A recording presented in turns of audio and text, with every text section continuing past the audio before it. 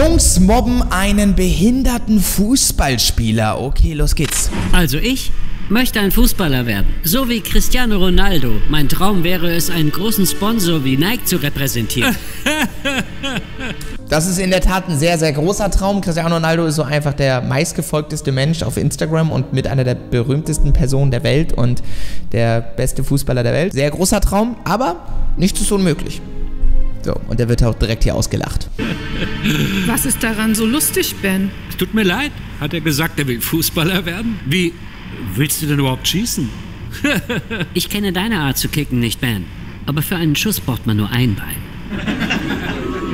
Siehst du? Er Oh, Shots fired. Also da wird äh, hier wird äh, hin und her geschossen. Ähm, veräppelt dich. Das hast du davon. Weißt du, Alex, statt Fußball solltest du lieber. Es reicht. Alex ist jetzt dran. Nein, nein, nein, nein. Nein, ist okay. Ich will's hören. Lieber was? Himmel und Hölle spielen. Du entschuldigst.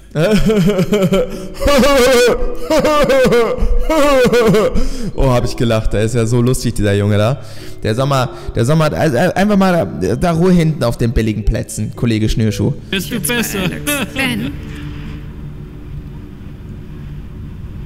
Warum? Er hat angefangen. Er hat angefangen, er hat nur gesagt, dass er gerne Fußballer werden will. Und dann hast du so behindert gelacht.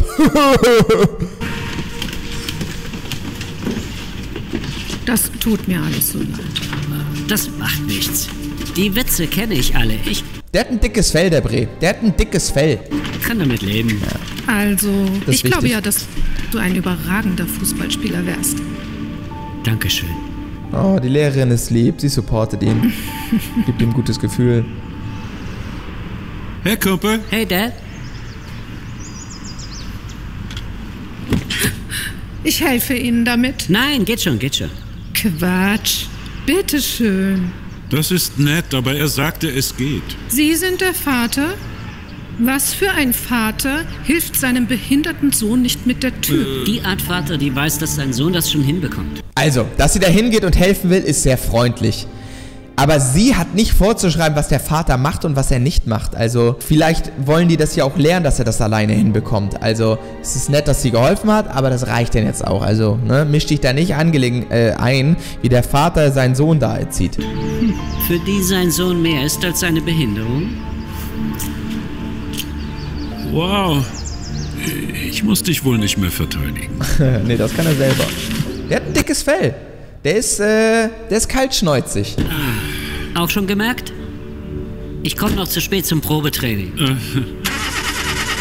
Er hat auch ein CR7-Shirt an. Bisschen Gas. Bingo. Der Bre ist ein Allrounder. Ja gut, stopp und. Ja gut, schön. Dribbeln, dribbeln, dribbeln, dribbeln. Oh, oh, sorry, ich hol ihn. Das geht schon. Wow. Schöner Schuss. Du musst nicht extra nett sein zu ihm, weil du dich sonst schlecht fühlst. Was machst du hier, Alex? Hm. Wie sieht's denn aus? Er hat ein Trikot an, er will mitspielen. Kollege Schnürschuh, du mit deinem olivgrünen Shirt, äh, mach mal ganz schnell einen Abflug. Wenn du noch einmal so äh, bescheuert lasst wie vorhin, dann haben wir ein dickes Problem. Gibt es nicht eine Liga für Leute wie dich? Was? Neben dem Vater. Der Vater steht einfach daneben. Angst, ich könnte besser sein als du? Und los. Probetraining? Cool. Also, Leute, ihr wisst, es können ja nur neun teilnehmen. Das bedeutet, einige bleiben draußen. Einen könnten wir ja schon weglassen. Der Ein Wort noch. Und du hast es mit mir und mit Baby Fridolin zu tun. Und zwar, äh, und war Baby Fridolin in sehr aggressiver Stimmung. Und das willst du nicht erleben, Kollege. schafft sowieso nicht ins Team. Warum läufst du nicht? Oder besser humpelst du nicht hier weg? Auf meinem Platz herrscht Respekt voreinander. Ah, gut. Ein Machtwort vom Coach. Das ist nämlich wichtig, dass die autoritären Personen wie Coaches, wie Lehrer, dass die was sagen. Dass die nicht weggucken und lassen, sondern dass die was sagen. Ein Machtwort sprechen. Und vor allem beim Sport, vor allem beim Fußball und vor allem im eigenen Team, da hat man, da hat man noch mal, verdammt nochmal Respekt vor seinen Teammitgliedern, ja? Man, man hat sowieso Respekt vor jedem anderen Menschen. Aber jetzt hier beim Sport besonders. Yes, also lass das. Tut mir leid. Hey, sag, ist das dein Dad? Ja, warum? Ich werde kurz mit ihm reden. Ihr anderen? Kegeltraining. Also schön. Und los! Hey, Ihr Sohn hat Biss. Das gefällt mir. Danke. Aber Der lässt sich halt von nichts unterkriegen. ich muss Ihnen sagen, er kann nicht mit Krücken aufs Feld. Das habe ich befürchtet. Wird ihm nicht gefallen, denke ich. Kann man da nichts machen? Die Liga erlaubt es nicht. Ja, ja, er könnte ein, ein, ein Bein bekommen, ein Fake-Bein oder nicht. Aber es ist halt schwierig, sich damit zu bewegen und ob das überhaupt damit geht. Oder, oder er meldet sich halt extra in einem Fußballteam an äh, für Behinderte halt, ne? Oder für körperlich Beeinträchtigte. Es sei denn. Was denn? Er benutzt eine Prothese. Prothese, nicht Fake-Bein. Prothese, das Wort hat mir gefehlt. Bräuchte er die Krücken nicht. Das wäre dann erlaubt. Ja, Ja, ist wahrscheinlich sehr teuer, so eine Prothese. Kostet, glaube ich, so fünfstellig. Das habe ich gecheckt. Die Versicherung zahlt die veranschlagten 7000 Dollar nicht, also fällt es flach. 7000, okay, doch vierstellig. Trotzdem viel Geld. Schauen Sie ihn sich an. Er ist gut. Sogar mit den Krücken. Er wäre eine Verstärkung und er würde Sie nicht enttäuschen. Das bezweifle ich. Die Schiedsrichter lassen das nicht zu. Er kann mittrainieren bei uns, aber mit den Krücken kann er nun mal nicht ins Team. Da gibt's Regularien leider. Ja, weil mit Krücken aufs Feld geht halt nicht. Da kannst halt nicht ordentlich. Ähm, ja, da gibt's auch eine Verletzungsgefahr. Also, ja, er muss halt irgendwie diese Prothese bekommen. Es tut mir leid. Na, Gang, dieses Video hat ja Minimum 7000 Aufrufe. Minimum, viel, viel mehr. Wenn jeder 1 Euro gibt, dann haben wir schon die 7000 zusammen. Das Video hat ja aber. Das Video hat. Das Video macht ja bestimmt 50.000 oder so. Also, es muss sogar jeder nur. Es muss, es muss irgendwie nur jeder 10 Cent geben, das würde auch schon reichen. Oder 20 Cent. Jeder einzelne Zuschauer. Und dann hätten wir die 7000 für ihn zusammen. Und 10 20 Cent tut keinem hier weh, oder?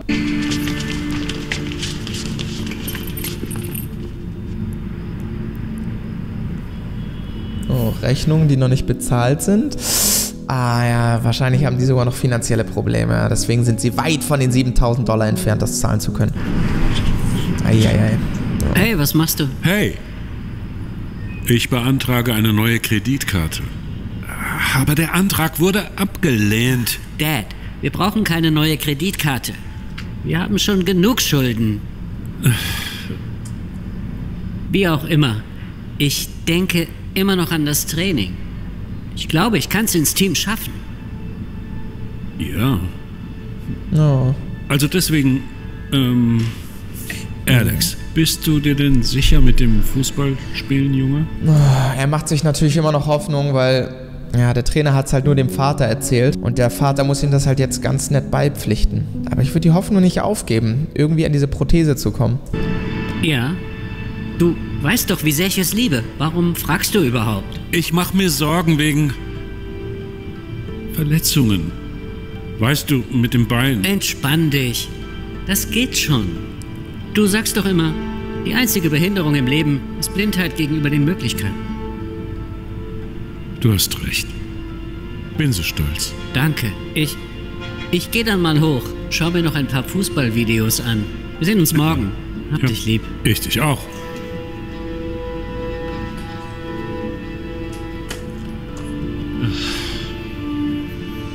Hm, er kann es ihm natürlich nicht ausreden, weil er liebt seinen Sohn und er will das Beste für ihn. Ah, guck. Nee, okay, hat noch Hier Kredit. drüben, hier drüben. Oh, na los, Gib los, ab. los. Den hab ich, den hab ich. Hey, hey, hey. Wow, wow. Ja, komm, Alex, den hast du. Hey. Und Tor. Gut gemacht, Alex. Ist ganz schön schnell. Also er hat es auf jeden Fall drauf. Die Veranlagung, das Potenzial ist da. Ja? Die müssen nur an diese Prothese kommen. Ich sag's euch. Glaubt ihr, den hätte ich nicht gehabt? Ich hab ihn das Tor machen lassen. Oh, Digga, chill doch. Sei doch ein guter Verlierer. Und jetzt so rein, ich hat- hätte und so, guck mal auch, wie die ihm alle einen Zeiter geben. Ja, klar. Nächstes Mal lass ich dich machen, dann sehen wir. Okay. Ich hab's Ihnen doch gesagt. Ich bin beeindruckt. Ist wirklich gut. Aber das ändert nichts daran, dass er nicht in die Liga kann mit den Krücken. Haben Sie es ihm gesagt? Nein, ich bringe es einfach nicht fertig. Ich warte noch auf den richtigen Moment. Das bringt man nicht übers Herz als Vater, den Traum von dem eigenen Sohn so zu zerstören. Okay, also das hier wird noch einen Monat gehen. Sagen Sie es ihm bald. Sonst tue ich es.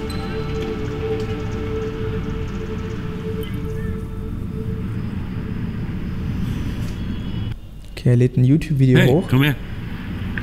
Schau mal. Ah, er lädt das Fußball, wie, wie er das Tor geschossen hat, lädt er Fußball, äh, lädt er hoch auf YouTube. Okay, vielleicht können die mit den Videos halt ein bisschen Geld verdienen, dass sie davon dann die Prothese kaufen können. Das wäre eine Idee. Oh, na los, los, los! Den hab ich, den hab ich! Hey, hey, hey! Der Schuss war echt gut. Ich glaub's nicht. Ich sehe immer noch Bens Eigenlob stinkt. Sag das nicht über deinen eigenen Schuss, aber der war echt gut. Gesicht vor mir. Der Polit? Den kannst du vergessen. Solche Leute ignoriert man am besten, Junge. Ja, da hast du recht. Aber trotzdem seine Blicke. Lädst du es auf YouTube hoch? Ja, ich arbeite aber noch an der Beschreibung. Geht's dir gut? Weißt du, ich hatte ein gutes Gefühl von vornherein. Aber nach heute denke ich, sie nehmen mich. Ja. Was meinst du? Ich, ähm, ach, ich fand dich großartig und ich bin so stolz auf dich. Nein, nein, nein, nein, Dad. Ich meine, komme ich ins Team? Glaubst du, die nehmen mich? Er muss es ihm jetzt sagen. Er muss es ihm jetzt sagen. Okay. So, Alex. äh, das übers Herz zu bringen, das ist so vernichtend. Es gibt was, worüber wir reden müssen. Okay, um was geht's? Ich habe mit deinem Coach gesprochen. Er hat mir gesagt, dass Krücken auf dem Platz nicht erlaubt sind. Das ist ein Sicherheitsrisiko. Okay, aber was soll ich tun? Ohne Krücken geht's nun mal nicht. Ich weiß. Es tut mir leid. Aber der Coach kann dich deswegen nicht ins Team holen. Das ist lächerlich. Ich bin besser als die meisten und das mit Krücken. brauchst du mir nicht zu sagen. Ich wünschte, wir könnten irgendetwas tun. Ich fühle mich so schlecht. Er kann nichts machen und auch der Coach kann nichts machen. Ne? Das darf man ja auch nicht jetzt hier falsch verstehen. Der Coach kann ja auch nichts dafür. Die müssen diese Prothese, das ist die einzige äh, Möglichkeit. Oder er kommt halt in ein Team mit für, also für Leute mit körperlicher Beeinträchtigung. Aber ich glaube, da will er nicht spielen. Ist okay. Mir geht's gut, Dad. Schon okay. Das ist ja nun nicht das erste Mal, oder? Ja, das ist sehr hart, das ist sehr, sehr hart für ihn. Wir machen ganz kurz die Grüße, Freunde. Grüße gehen raus an die Margangster, an Celi, an Christoph und an äh, Thaddeus, wenn du im nächsten Video auch gegrüßt werden willst. Äh, ja, folgt mir einfach auf Instagram und schreibt mir dort eine Nachricht, ja? Ich grüße mal in jedem Video drei Leute, für die, die es nicht wissen. Nein, nein, warte. Lass uns drüber reden. Was denn, Dad? Es gibt nichts zu reden. Ich komm klar. Es tut mir so leid für ihn. Das ist hart. Das ist hart, hart, hart. Das ist mein Sohn, Alex. Er ist ein so wunderbarer Mensch mit vielen Talenten. Er ist liebenswert. Ein Kämpfer. Er liebt seinen Vater und vor allem, er lässt sich einfach nicht unterkriegen. Wissen Sie, als Alex geboren wurde, war alles ganz normal bei ihm. Außer der Sache mit dem Bein. Okay, ist genetisch, also er ist nur mit einem Bein auf die Welt gekommen. Seine richtigen Eltern, sie, nun ja, sie kamen damit nicht so klar. Also gaben sie ihn zur Adoption. Was? Die gaben ihn zur Adoption frei, weil er nur ein Bein hat? Diese haben gesagt, ja, also wir würden ihn behalten, wenn er gesund wäre, aber dadurch, dass er jetzt krank ist und nur ein Bein hat, äh, geben wir ihn weg. Was ist das denn? Mensch ist Mensch. Ein Bein, zwei Beine, äh, juckt doch nicht. Das finde ich heftig. Also wenn man ein Kind weggibt, weil man sich nicht äh, äh, gerecht um das Kind sorgen kann, weil man überfordert ist und weil es dem Kind schlecht gehen würde, dann kann ich es verstehen, aber dass sie es davon abhängig machen, ob das Kind gesund ist, das finde ich halt schon verwerflich. und frei.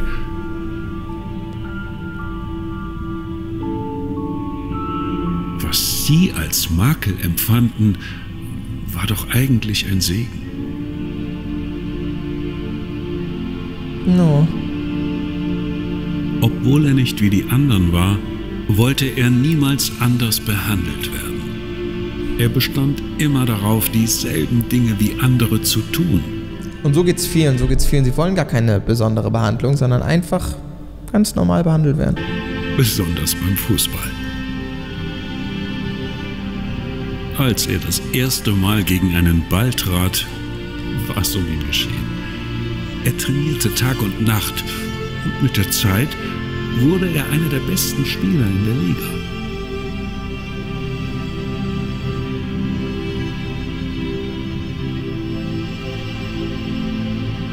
Aber wissen Sie, wenn man sich auch selbst Wer liest sich denn so eine lange Beschreibung durch? Nein, Spaß, ich mache nur Spaß. Aber ihr liest doch auch nicht bei jedem von meinen Videos meine Beschreibung, oder? Also da steht eh nichts Besonderes. Da sind halt meine Links drin, das Originalvideo, bisher meine äh, sozialen anderen Plattformen, wo ihr mich überall abonnieren könnt, ne? Instagram, Snapchat, TikTok und so. Aber naja, aber äh, wahrscheinlich, wenn er darauf hinweist, dann lesen es vielleicht viele. nicht über seine Behinderung definiert, so tun es andere leider andauernd. Es gibt diese Regel, dass Krücken auf dem Feld nicht erlaubt sind und deswegen kann er nicht spielen. Leider habe ich nicht das Geld, ihn mit einer dieser neuen Prothesen angemessen zu unterstützen. Alex Dad speichert die Beschreibung und lädt das Video hoch, ohne sich viel davon zu versprechen. Ein Ähm, paar hat der Maggi auch bei seinen ersten Videos. Und ein paar Tage später war es auch um mich geschehen. Tage später bemerkt Na, fünf Jahre später. Ich habe fünf Jahre Videos hochgeladen, ohne einen Cent damit zu verdienen, Leute. er, dass das Video tatsächlich in kürzerer Oh, es geht echt viral. Alex macht Tor während eines Probetrainings. 3,5 Millionen Views. Zeit viral geht. Und dann innerhalb von ein paar Tagen bekam es Millionen von Klicks. Von Menschen auf der ganzen Welt. Da verschluckt man auch schnell mal den Kaffee. Aber was ihn wirklich umhaute, war, dass jemand eine digitale Spendenaktion startete für Alex Prothese. Help Alex play soccer. 8200 sind schon von 7000. Was? Die haben schon das Ziel, die haben das Ziel schon erreicht. 43 Leute haben nur, nur gespendet. 200, 600, oh, richtig großzügige Menschen bei GoFundMe, das war's schon. Krass, die haben das Geld zusammen. Dad erzählte es seinem Sohn und sie beide waren sprachlos. Und so kam er schließlich ins Krankenhaus, wo man ihn operierte. Ja, jetzt noch toi toi toi, dass alles gut geht.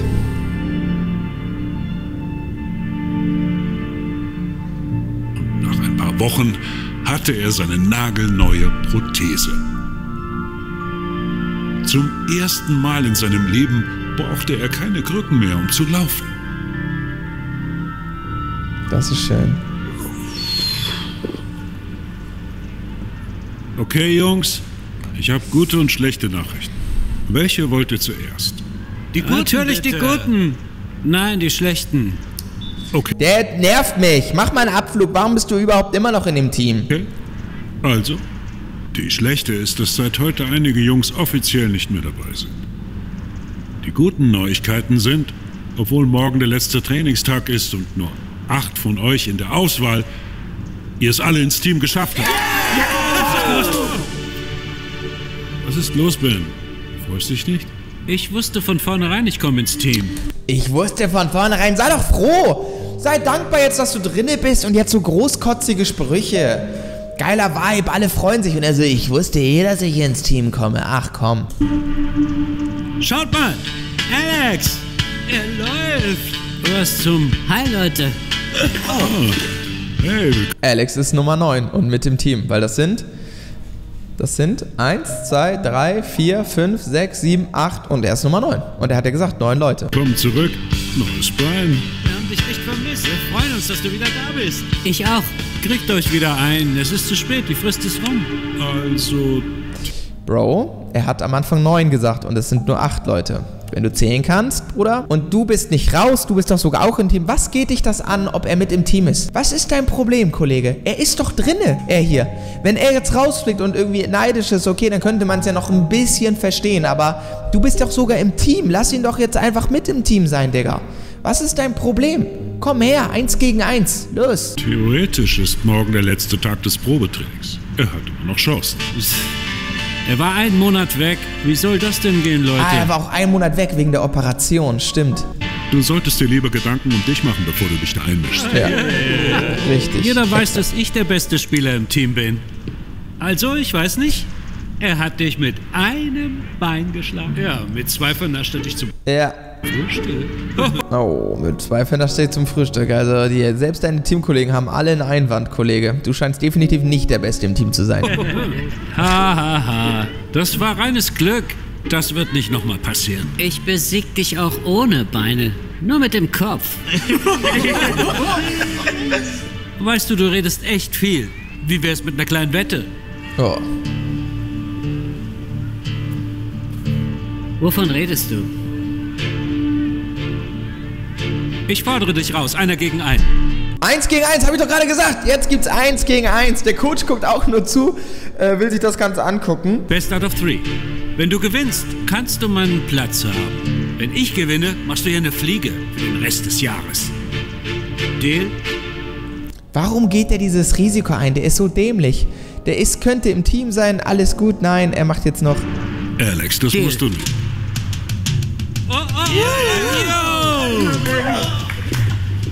Boah, vor Das ist allem. krass. Also er war jetzt einen Monat weg, hat einen Monat jetzt ja kein Fußball gespielt und auch die Prothese ist natürlich neu. Er muss natürlich auch ein Gefühl dafür bekommen. Ich gewinnt Alex. Weil du behindert bist, fängst du an. Hals- und Beinbruch. Gilt ja nicht für Metall. So lustig. Ich will keine Sorge. Erst du. Wie du willst.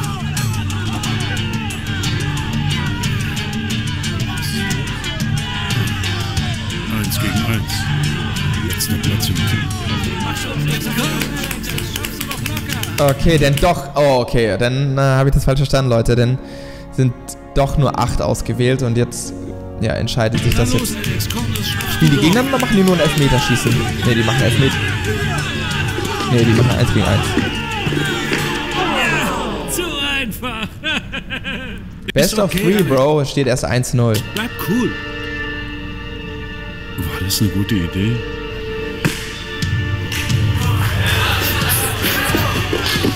Easy. Eins. Ja, coole Täuschung, Alex. Mich besiegst du nicht, Junge. Ja, red du nur. 1-1.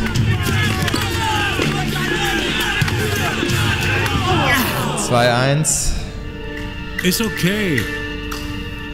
Wie geht's jetzt weiter? Naja. Wenn Ben den gewonnen. Vielleicht nehmen sie dein Bein wieder zurück, wenn es nicht zu spät ist. Ja, warte nur, bis du verloren hast. Komm schon, Junge, ich glaube an dich. Aber das wäre doch Best of Five, oder? Weil wenn er jetzt verteidigt, äh, ich, keine Ahnung, ist doch egal. Komm, mach es, Junge. Schön, auf rechts. Jawohl. Stopp, Übersteiger, links, rechts. Getunnelt einfach. Er hat ihn einfach...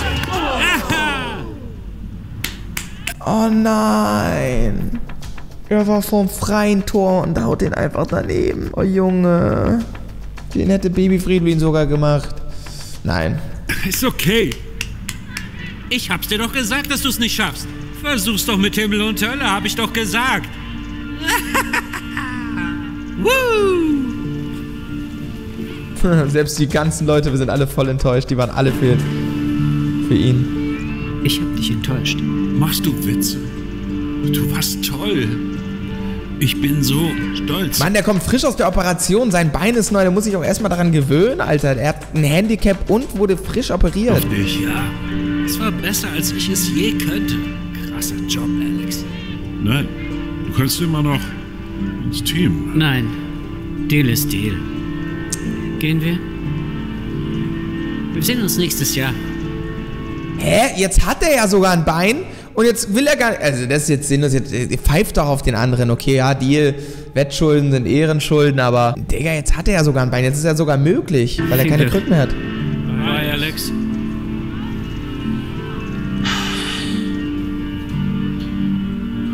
Hey, Junge, ist alles okay? Kein Ding. Mach dir keinen Alex. Hey, ich bin Phil. Ich arbeite bei Nike. Tja, oh, hallo. Warte mal, er wollte wie Cristiano Ronaldo mit einem Nike-Deal sein. Und jetzt kommt einfach ein Nike-Mitarbeiter. Hey, ich habe dein Video gesehen. Ich muss zugeben, mein Team und ich, wir waren sehr beeindruckt. Äh, echt jetzt? Absolut. Vor allem die Beschreibung ist eine wirklich inspirierende Story. Wir wussten sofort, dass du genau der Typ Athlet bist, mit dem wir arbeiten wollen. Komm, sie, sie, sie machen Witze. Der hat einfach seinen ersten Sponsorvertrag mit Nike. Den hab selbst ich nicht. Nike, wenn ihr Bock habt, ich hab Bock. Nein, kein Witz. Hast du einen Moment? Ich möchte mit dir über Sponsoring sprechen. Das ist krass. Er könnte einfach das Werbegesicht für Nike Falls sein. du interessiert bist. Oh mein Gott. Es war, es war schon immer mein Traum. Natürlich. Absolut. Prima. Wir haben da schon ein Konzept erarbeitet. Was? Was? Krass, die haben sogar schon so ein Plakat gemacht. Wir mit Krücken, den Ball und so. Die einzige Behinderung im Leben oder Beeinträchtigung, eine Person nicht als mehr zu sehen, sozusagen. Ich, ich, Er hat ein bisschen Ähnlichkeit mit Cristiano Ronaldo in manchen Positionen. Also er könnte Cristiano Ronaldo in klein sein, ne? So in manchen äh, Situationen habe ich das jetzt gerade gedacht, so vom Gesicht so ein bisschen. liebe es. Komm, komm. Äh, was soll das alles? Warte eine Sekunde. Gleich da? Oh nein, der hat ihm ein neues Auto ab. gekauft. Er hat ihm Porsche Uah. gekauft. Der hat ihm einfach einen Porsche gekauft. Was? Hast du ein... Ja. Ich konnte die alte Rübe nicht mehr sehen. Äh, die alte Rübe. Ja, ein Nike-Deal, Nike-Sponsoring gibt natürlich auch gut Geld, ne? Also habe ich dir neues gekauft von meinem Nike-Geld. Warte, das ist für mich? Ja. Oh mein Gott! Das ist Wahnsinn! Ich bin dir so dankbar. Ich liebe dich. Ich dich auch. Oh, und mach dir wegen der Rechnung keine Sorgen, die habe ich alle beglichen. Womit habe ich das alles verdient? Na, du, er war ein sehr guter Vater, der immer das Beste für seinen Sohn wollte. Das hast du verdient. Das hast du wahrlich verdient, weil du bist und warst ein richtig, richtig, richtig toller Vater mit einem sehr, sehr großen Herz. Durch die ist das ja auch möglich geworden mit dem viralen YouTube-Video und und und. Also das ist euch beiden zu verdanken und er hat natürlich jetzt den Deal und natürlich will er sich irgendwie revanchieren und mit so einem Nike-Sponsoring, da sahnt man, kann man auch ordentlich absahen, ne?